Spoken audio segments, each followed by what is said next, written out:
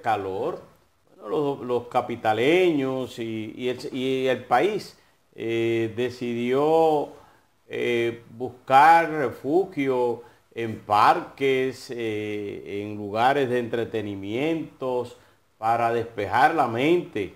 Así es que qué bueno, qué bueno que se haya corrido.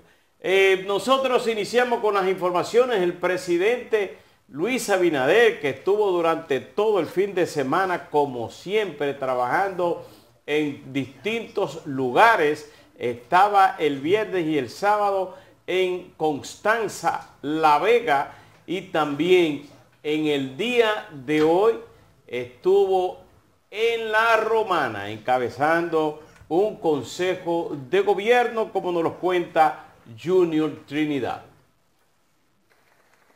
El presidente de la República, Luis Abinader, encabezó este domingo el vigésimo quinto Consejo de Ministros donde escucharon y se analizaron las principales necesidades de la romana, a la vez que se tomaron notas para atender las obras sociales y comunitarias a realizar en esta provincia. La reunión del Consejo de Ministros se llevó a cabo en el Salón Multiuso del Colegio Inmaculado Corazón de María, con la presencia de la vicepresidenta Raquel Peña, donde se analizaron las acciones a tomar y lineamientos a ejecutar con miras al desarrollo de la provincia de La Romana. También se abordaron acciones en favor del turismo, sus retos y realidades, así como las perspectivas de desarrollo, además de los aportes que hace la romana a las finanzas nacionales. Asimismo, se hizo hincapié en la necesidad de coayudar acciones y proyectos reales que mejoren las oportunidades que impliquen mejorar la calidad de vida de los municipios. Se trató sobre las infraestructuras que requiere la provincia, mantenimiento, perspectivas de desarrollo y la forma como opera deficiencias de mejoras del sistema de salud, entre otros.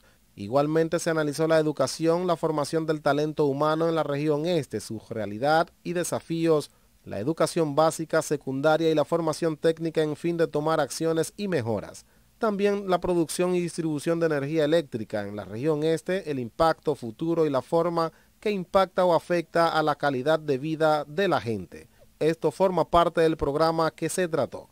Posteriormente, el gobernante asistió al acto de celebración del 48 aniversario del Club Deportivo y Cultural Virgilio Castillo Chola y luego supervisó los trabajos de construcción del Hospital Municipal Villahermosa en ese municipio en la región Yuma.